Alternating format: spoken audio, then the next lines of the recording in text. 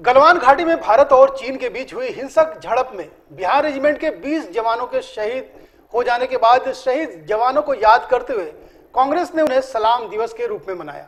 राज्य के वित्त मंत्री रामेश्वर उरांव, स्वास्थ्य मंत्री सहित कई कांग्रेसी नेता मौजूद रहे। आपको बता दें कि मोराबादी में स्थित बापू बाटिका में कांग्रेस की ओर से शहीदों को सलाम दिवस कार्यक्रम का आयोजन किया गया। इस मौके पर शहीदों को श्रद्धांजलि भी दी गई। साथ ही साथ एक घंटे मौन भी रखा गया। राज्य के स्वास्थ्य मंत्री बन्ना गुप्ता ने केंद्र सरकार पर जमकर निशाना साधा और कहा कि केंद्र सरकार की विदेश नीति फेल हो चुकी है। आए दिन हमारे जवान शहीद हो रहे हैं। इसकी जिम्मेवारी किसको होगी? भारत के गुट निरपेक्षता के सिद्धांत को, हमारे सत्य अहिंसा के मार्ग को, राष्ट्रपिता महात्मा गांधी के आदर्श को पूरी दुनिया ने नतमस्तक किया है, पूरी दुनिया ने स्वीकारा है।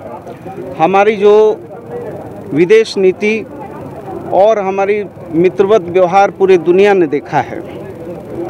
नेपाल हमारा बगल का पड़ोसी, जिसको हम एक राष्ट्र नहीं, बल्कि भारत का एक राज्य के रूप में समझते थे।